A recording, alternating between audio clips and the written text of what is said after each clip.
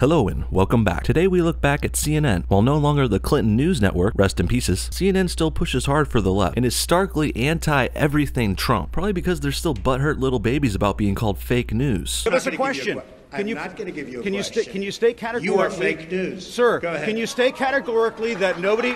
And instead of being humble, apologizing, and moving on so they can rebuild their reputation, CNN has doubled down on their rhetoric, and it's really starting to spiral out of control. The latest news story to throw them for a loop was President Trump's announcement that he may be investigating into voter fraud and looking into strengthening up voting procedures. Sounds pretty uncontroversial, right? Looking into voter fraud, tightening up the voting process, making the elections more fair and accurate. Who could be against that? Well, CNN is apparent. We will get into why shortly, but for now, let's look into CNN's initial reaction from Jake Tapper. President Trump is claiming, and the White House is reaffirming, the fiction that millions of illegal votes were cast in the 2016 election. It is empirically a stunning allegation for which the White House is providing no evidence. Tapper sounds pretty pissy. Moments ago, White House Press Secretary Sean Spicer acknowledged that the president believes three to five million votes were illegally cast in November. It was interesting what Mr. Spicer did not say. He did not say that he shared the belief, even after he was asked. Now, why would that be? Perhaps because there's zero evidence of widespread voter fraud in the 2016 election. The reason there's zero evidence is because there hasn't been an extensive study done into voter fraud. That's why Trump wants to look into it. If President Trump's beliefs are true, Republican leaders in Congress should be holding hearings and trumpeting this injustice every single day. His Justice Department, his Department of Homeland Security, all of them would need to crack down immediately. Unless, of course, it's not even remotely true. Well, I think that's what the government will do if they find voter fraud. They will crack down, obviously. Here's where I start to get suspicious of CNN. It seems they not only don't believe there's voter fraud at all, no way, not even a chance, but it also seems they don't even want people to look into it. What have you got to hide, CNN? Let's see where this goes in our next clip from CNN's New Day. The president, as you know, continues to uh, insist that millions of people voted illegally, and that's why he lost the popular vote. There is zero proof of that type of scale of fraud. We know that the research that is cited by him, his people, and now even the press secretary, Sean Spicer, is erroneous. Again, I don't understand this notion of there's no evidence of fraud, so let's not even investigate. Sounds kind of sketchy to me. What do you make of his insistence? Well, I, I think it's always important to make sure we don't have illegal votes. We know we have them.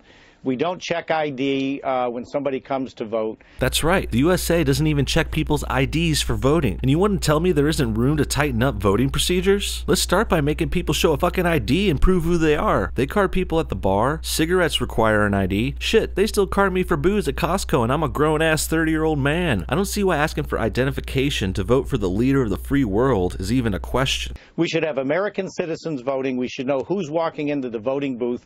And I would uh, support anything we do to make sure that our elections are secure, that it's only citizens voting. And if we do an investigation, and uh, it sounds like we're going to, I'm all in support of This guy is totally reasonable. And look, he's a Republican. Shocker. This is why the country is turning back to the right, people. CNN and the left are going insane. Republicans are the only ones who sound like real people anymore. If I said to you that 95% of Congress is dirty and therefore we should investigate, and there's no basis for what I just said in terms of that scale of corruption or unethical behavior, you'd be okay with that because it's always good to know for sure? Uh, I don't think that's the same as the integrity of our elections, Chris. This is CNN moving to the next step. First, they discredited the claims of voter fraud. Now, this guy's saying we shouldn't even look into it. What a talented journalist he is. He's like the opposite of an investigative journalist. He's a let's not investigate it journalist. Woodward and Bernstein would be proud. Well, unlike these hacks at CNN, I do want to investigate. I'm naturally curious, like a cat. Meow.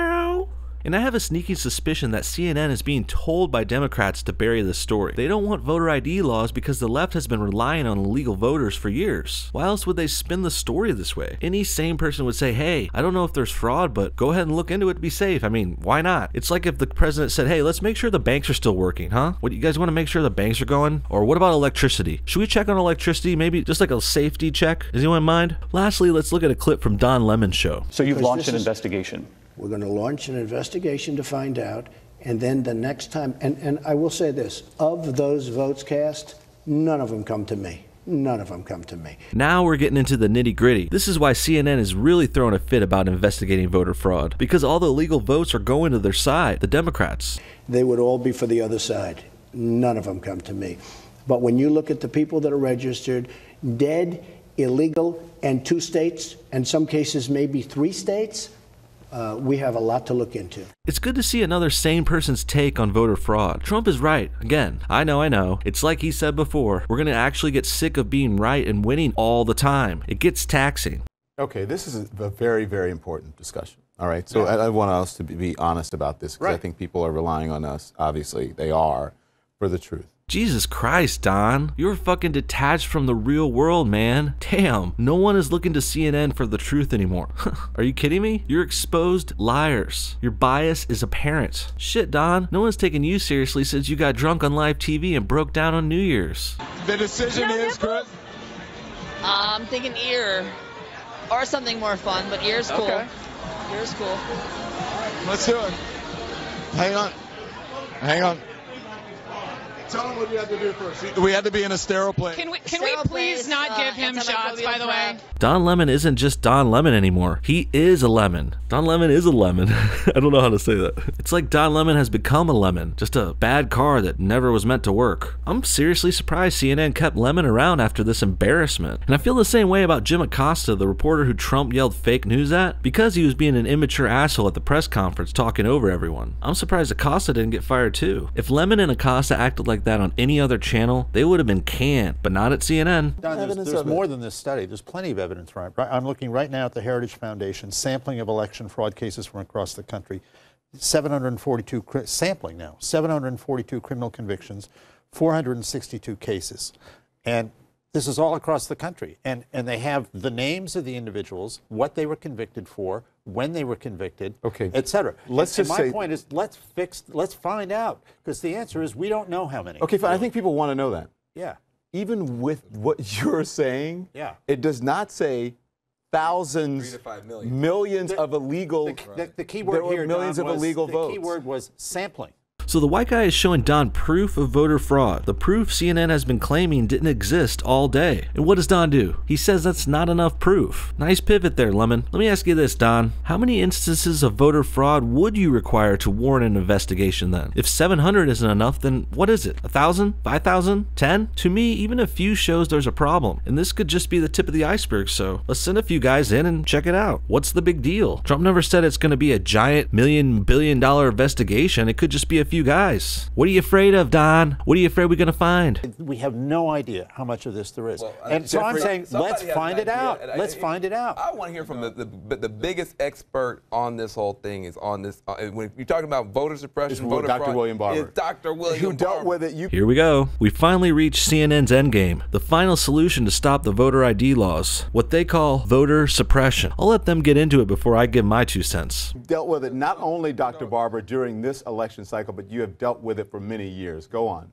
Wow, CNN, can you get any blacker? Listen, we know the guy you're talking about, Vaughn, but he's been proven to be fraudulent. That's a scary looking black man. He's like leaning forward and looking up at you. He looks like Goldberg right before he hits you with a spear. They brought him to North Carolina, and his uh, his claims were the same claims Republicans used in North Carolina to justify the worst voter suppression law, and the courts ruled against them, said they had engaged in surgical voter suppression. That's the issue. 22 states since 2010, two years after Obama won, have passed voter suppression. Voter suppression. The Democrats' spin job trying to stop voter ID laws is, guess what? Calling them racist. Classic liberal logic. I can't believe these hacks are still pushing this shit argument. The only people being suppressed by voter ID laws are people who should not be fucking voting. This notion that it's racist to require people to register and bring an ID to vote is preposterous. And to suggest minorities like blacks and Hispanics can't follow these simple voting procedures is insulting to them. Let's see what some black people in Harlem think about this voter suppression theory.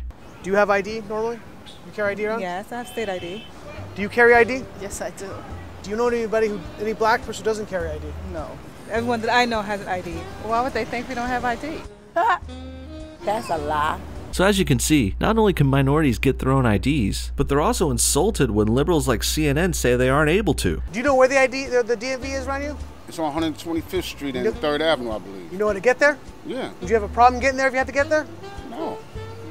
It's. I know these sound like silly questions. In fact, when CNN and that scary pastor guys say that voter ID laws are voter suppression and racist, ironically, they're the ones being the racists. In the end, an investigation into the American voting system will not hurt anyone, except people who shouldn't be voting and the people who would benefit from the faults in the system. Democrats are clearly getting some kind of benefit from lax voter ID laws. Why else would they fight them so hard and call them racist and voter suppression? I suggest we at least meet the same voting requirements as our southern neighbor Mexico, who requires all citizens to have a government issued photo ID with their thumbprint on it. Because currently, it's easier for Mexicans to cross the border and vote in America illegally than it is for them to vote legally in their own goddamn country. What do you guys think? Are voter ID laws racist? Should Trump be looking into voter fraud? Why does Don Lemon still have a job? Comment below and thanks for watching our new episode of No Bullshit. We'll see y'all next time.